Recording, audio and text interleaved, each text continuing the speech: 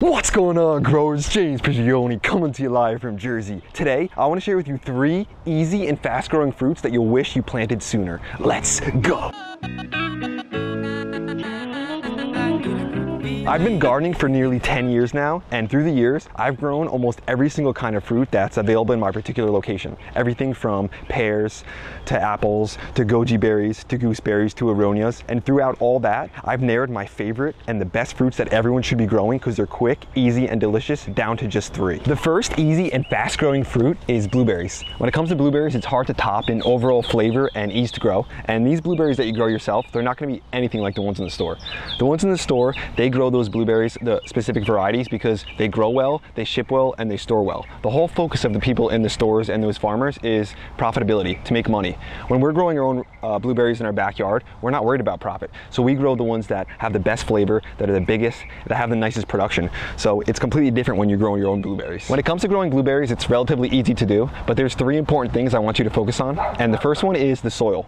When it comes to blueberries, they like a nice well-drained soil, but they like it to be acidic. So an acidity from about 4.5 to 5.2 for a pH level is what blueberries like. If your soil isn't that acidic, you can mix in some peat moss or some pine needles and that'll bring the pH level down. The second thing about blueberries is if you're gonna grow them, they need a pollinator. So you need at least uh, two varieties to make sure you get good pollination, and three varieties would be even better. Notice how close we plant these. We want different varieties planted next to each other that flower at similar times so we get good pollination. The third thing about blueberries is that they've got really shallow roots. So you want to make sure you don't have any weeds growing and that if there's any weeds you pull them out right away. And you don't want to be cultivating a lot around the base of the, of the blueberries because you don't want to uh, negatively affect those shallow roots. That's why a thick mulch under your blueberries works so efficiently. It helps retain moisture, keep those weeds down, and it just helps with the overall growth. When you're buying your blueberries, I suggest you get at least three-year-old plants. This way your plants are gonna start producing early and quickly. For instance, this one right next to me here, I put this in the ground only last year and we're already getting berries on it. So we're already eating and getting uh, some nice harvests.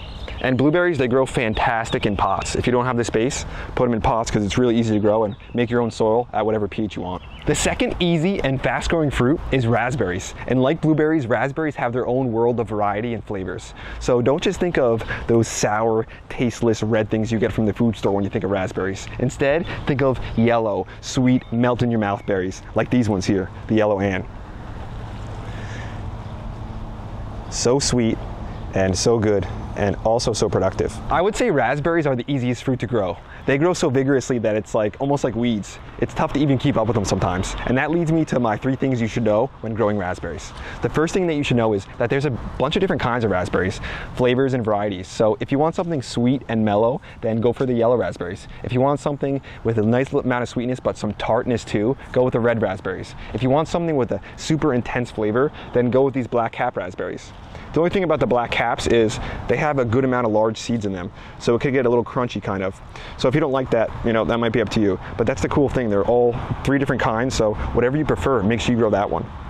The second thing about raspberries though is that you gotta thin them out pretty regularly. Like I said, they grow so vigorously. You don't want them getting too out of control, taking over your garden and shading things out too much. Because when you get big raspberries to pull out, like they can get thorny and you know, it's just, it's just not something you wanna do. And the third thing is learn what kind of raspberries you have and the proper way to prune them. Pruning them properly will increase your harvests by so much. It looks like Tuck is digging himself a little hole between the rows of raspberries and he's got a nice shaded spot he's gonna probably just dig nice and deep so he can get cool. If you guys enjoyed the video and you guys enjoy seeing Tuck in it, hit the like button, hit the subscribe button. And uh, whenever you're shopping on Amazon, don't forget to use our Amazon affiliate link too. That helps me and Tuck just a little bit, doesn't cost you anything. But he's having a lot of fun in here underneath this sea of just absolute raspberries. Another reason that I love raspberries so much, besides the fact that they're so easy to grow, is that they get to production so quickly. For instance, if you put everbearing or fall-bearing raspberries in in the spring, then those things could have fruit on them that same year in the fall. So plant something in the spring, get the fruit on in the fall. To me, that's just so cool. Just like blueberries, raspberries grow fantastic in pots. So if you don't have the space in your garden or you don't want to take the chance of them spreading too much, just grow them in pots. And that leads me to my third easy and fast growing fruit. This one happens to be my favorite fruit to grow overall. And it's pretty obvious because it's just blanketed all over my garden. And that one is strawberries. This year we harvested more strawberries than we ever have. And it's felt great because we've been able to just come out here, fill up bags and give them away to our friends. And they've been able to enjoy them too. And it's convenient because they're so easy to grow. One of the easiest things to grow. When it comes to growing strawberries though, there's three things I want you to focus on. The first one is the planting style, which is super important. When it comes to putting your strawberries in the ground, you never want to bury the crown. That's where the leaves unfold from, right in the center.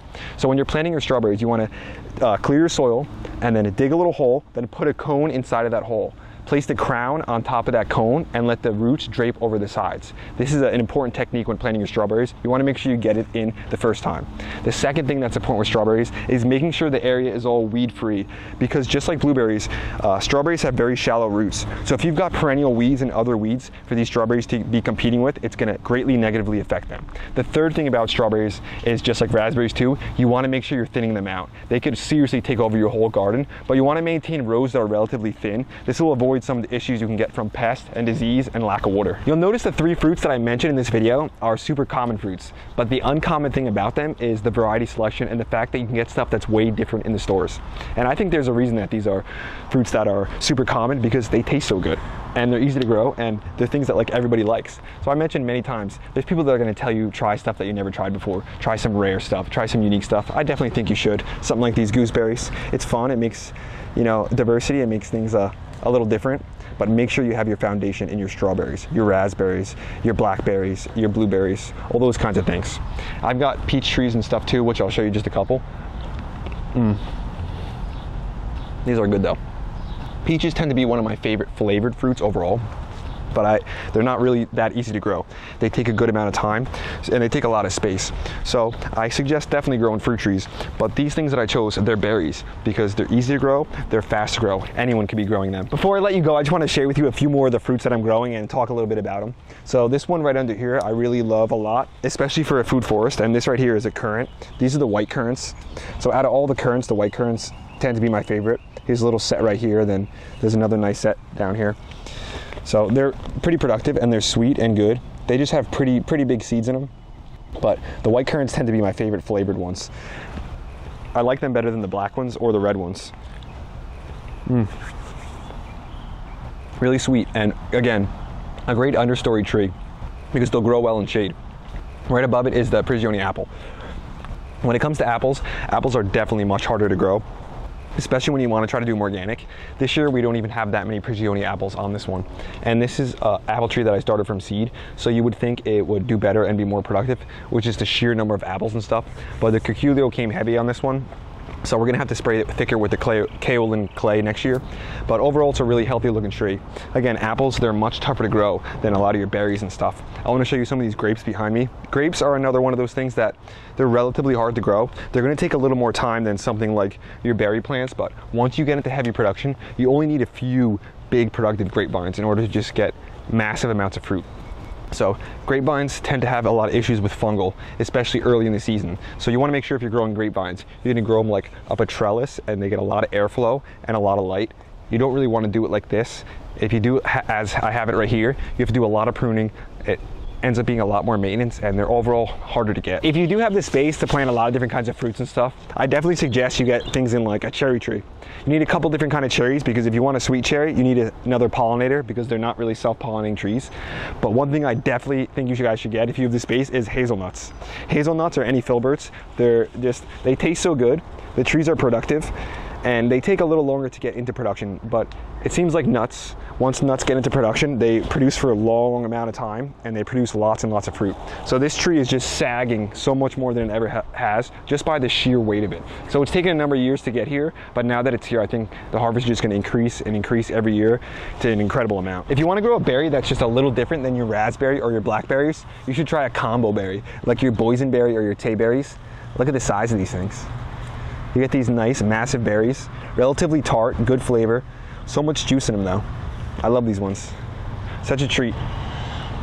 Mm. Melt in your mouth with a few little seeds in it, but these are some of the fruits that I love growing. I wanted to mention a few fruits that I've tried before that I just basically got rid of because I don't even like them. The first one that I really dislike is the aronia berry. You really have to process it if you want to use it, so I'm not a big fan of it. Another one that I'm not a fan of that a lot of people do like is the goji berry. I've tried them, I taste them, they don't taste that good to me. So they might be really healthy for you, but they taste terrible in my opinion.